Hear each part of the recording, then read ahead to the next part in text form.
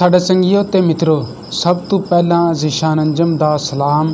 ਮੈਂ ਇਸ ਵਕਤ ਮੌਜੂਦ ਹਾਂ ਬੁਕਾਪਤਨ ਆਰੀਵਾਲਾ ਦਰਿਆਏ ਸਤਲੁਜ ਤੇ।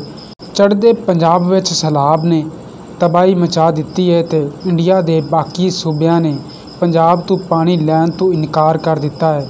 ਲਹਿੰਦੇ ਪੰਜਾਬ ਨੇ ਆਦੇ ਭਰਾ ਨੂੰ ਡੁੱਬਦਾ ਵੇਖ ਕੇ ਆਪਣੇ ਸਾਰੇ ਗੇਟ ਖੋਲ ਦਿੱਤੇ ਕਿਉਂਕਿ ਮੁਸ਼ਕਲ ਵਿੱਚ ਭਰਾ ਭਰਾਵਾਂ ਦੇ ਕੰਮ ਆਂਦਾ ਹੈ। ਇਸ ਪਰੋਂ ਹੁਣ ਲਹਿੰਦੇ ਪੰਜਾਬ ਵਿੱਚ ਹੁੱਕਾ ਪਤਨ ਦੇ ਇਲਾਕੇ ਦਾ ਕੀ ਹਾਲ ਏ, ਇਹ ਤੁਹਾਨੂੰ ਵਿਖਾਣੇ ਆ।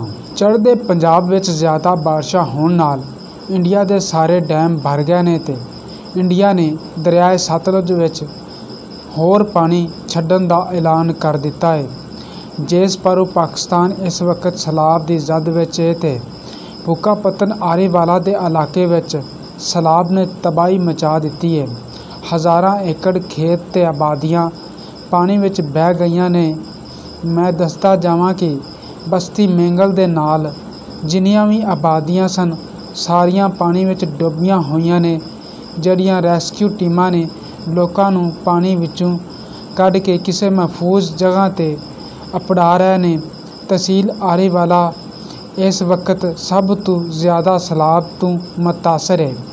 ਦਰਿਆ ਸਤਲੁਜ ਵਿੱਚ ਹੈਡ ਸੁਲੇਮਾਨਕੀ ਤੋਂ ਇੰਡੀਆ ਵੱਲੋਂ 84000 ਕਿਊਸਕ ਦਾ ਰੇਲਾ ਦਾਖਲ ਹੋ ਰਿਹਾ ਹੈ ਤੇ ਇਖਰਾਜ ਵੀ 84000 ਇਹ ਪਾਣੀ ਦੀ ਉਚਾਈ 20 ਫੁੱਟ ਤੋਂ ਵੱਧ ਗਈ ਹੈ ਇਸ ਤੋਂ ਬਾਅਦ ਇੰਡੀਆ ਨੇ ਦਰਿਆ ਸਤਲੁਜ ਤੋਂ ਹੋਰ ਪਾਣੀ ਛੱਡਣਾ ਹੈ ਇੰਡੀਆ ਵਿੱਚ ਬਾਰਿਸ਼ਾਂ ਇਸ ਤਰ੍ਹਾਂ ਹੁੰਦੀਆਂ ਰਹੀਆਂ ਤਾਂ ਪਾਕਿਸਤਾਨ ਵਿੱਚ ਉੱਚੇ ਦਰਜੇ ਦਾ ਸੈਲਾਬ ਆ ਸਕਦਾ ਹੈ ਬਾਕੀ ਸਾਡੀ ਵੀਡੀਓ ਨੂੰ ਲਾਈਕ ਸ਼ੇਅਰ ਜ਼ਰੂਰ ਕਰਨਾ ਤੇ ਮਿਲਦੇ ਹਾਂ ਅਗਲੀ ਵੀਡੀਓ ਵਿੱਚ।